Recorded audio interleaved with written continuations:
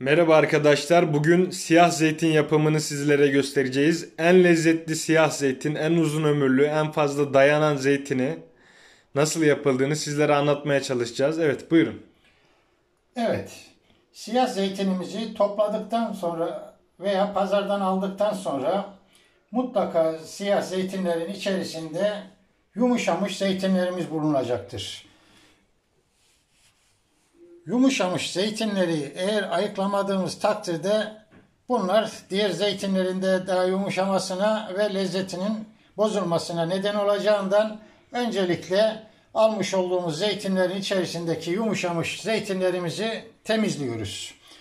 Daha sonra yine o zeytinlerin içerisinde mutlaka sapları temizlenmemiş zeytinler bulunur. Acılığının daha erken gitmesi için de bu zeytinlerin üzerinde bulunan şöyle saplarını tamamını temizlemeye çalışacağız. Mümkün olduğu kadar hepsini temizlemek gerekiyor. Bunları temizledikten sonra zeytinimizi yıkanmış duruma getireceğiz. Bu zeytini yıkamamızın sebeplerinden birisi zeytinin temiz olması, üzerine bu yapışmış olan pisliklerden, topraklardan, çamurlardan arındırılması gerekiyor. Önce zeytinimizi ayıkladık. Şimdi yıkama faslına geçiyoruz. Zeytinimizi güzelce tertemiz olup bolca suyla yıkayacağız. İyice yıkama işlemini yapıyoruz. Yalnız bu zeytinimizi yıkadıktan sonra bu şekliyle direkt bidona koymuyoruz. Bunu önce güneş alabilecek yerlerde serip kurutmamız gerekiyor. Zeytini kuruttuğumuz zaman daha e, tuzla birlikte daha lezzetli olur. Hem tuzu yaş yaş sep bidona doldurduğumuz zaman da bu sefer zeytinin tuzu erken eriyeceğinden her tarafına işlemesine engel olur. Evet, biz daha önce zeytinlerimizi yıkadık, kuruttuk. Kurumuş zeytinlerimizi bir kabın içerisine aldık. Şimdi buradan zeytinlerimizi yapım aşamasına geçiyoruz. Öncelikle şöyle 5 kiloluk ama 3 kilo zeytin alan bir bidonu aldık. Bu zeytinimizi bidonumuza dolduruyoruz.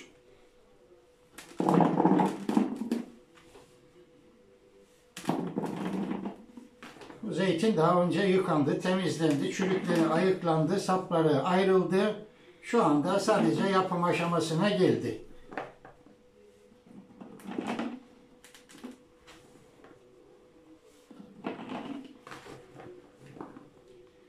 5 kiloluk bidonlar yaklaşık 3 kilo zeytin almaktadır. 3 kiloluk zeytine katılması gereken tuz miktarı yaklaşık 250 gram. Yani bidonunuzun büyüklüğüne göre %8, %9 oranında tuz katmak gerekiyor. Bu bidon 3 kilo zeytin aldığına göre 250 gram civarında bir tuz bu bidon için yeterli olacaktır. Daha önce yapılmış o ölçümde de şu bir su bardağından bir parmak aşağıya kadar tuz doldurduğumuz zaman şöyle 5 kiloluk bidonun içerisindeki 3 kilo zeytine tuz oranı idealdir. Bunu şimdi bidonumuzun üzerine döküyoruz. Evet, bu tuz bu bidon için yeterli. Ama eğer daha büyük bidonlarda zeytin yapımını düşünürseniz o bidondaki zeytinin miktarına göre %8, %9 oranında tuz ilave etmek gerekir. Artı bu bidon küçük olduğu için üzerinden döktük. Ama büyük bidonlarda zeytin yaptığınız zaman bidonun altına bir sıra zeytin, biraz tuz. Tabii tuzunu önceden ayarladıktan sonra o ölçümle atmanız gerekiyor. Bir e, sıra zeytin, biraz tuz. Bir sıra zeytin, biraz tuz dedikten sonra zeytinimizi tuzlamış duruma getiriyoruz. Bu zeytini bu şekliyle 15 gün yaklaşık 15 gün içerisinde acı su vermeye başlayacaktır. 15 gün sonra acı suyu vermeye başladıktan sonra zeytinimizin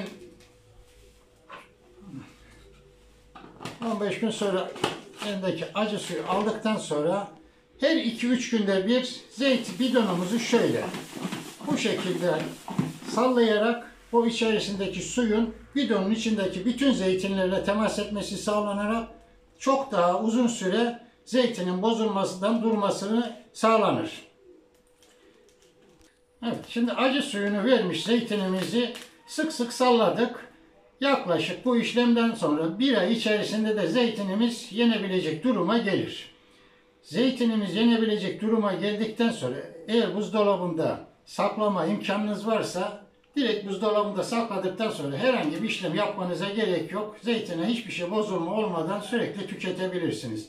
Ancak yapmış olduğunuz zeytinin buzdolabına sığmayacak kadar fazlaysa 15 gün 20 gün yetecek kadar o bidondan çıkarıp buzdolabına kurup onu tüketirsiniz. Diğer bidonunuzu da fazla yapmış olduğunuz zeytininizi de güneş görmeyecek şekilde serin bir yerde dışarıda muhafaza edebilirsiniz. Tabi bu arada dışarıda muhafaza ederken ağzını sıkı sıkı kapatmak gerekiyor ki yine hava alıp zeytinde küfleme veya bozulma yapmasın. Evet zeytinimizi yaptık, bidonladık, her şeyle hazırladık, yenecek duruma geldi. Saklama şeylerini, şartlarını güzel e, oluşturduk. Böyle yaptığımız zaman zeytin en az bir yıl, iki yıl hiç bozulmadan rahatça tüketebilirsiniz. Tabi zeytinin e, bu aşamadan başka yapmış olduğumuz tuzlamadan başka diğer şekilde de yapımları vardır. Salamura şeklinde yapılmaktadır. İşte bidonumuzu aldıktan sonra üzerine tuz ilave edilerek su dökmek suretiyle bazı kişiler işte yapmış olduğumuz zeytinin üzerine limon tuzu, sirke, yağ bunlar da e, zeytinin bozulmadan durmasına katkı vermektedir. Yalnız tabi tercihen çoğu kişi sirkeli, limonlu, yağlı zeytini pek sevmeyeceği için en ideal zeytin yapımı budur. Böyle bir zeytini yapıp da saklama şartlarını oluşturduğunuz zaman 2 yıl rahatlıkla tüketebilirsiniz. Afiyet olsun. Evet arkadaşlar herkese şimdiden afiyet olsun.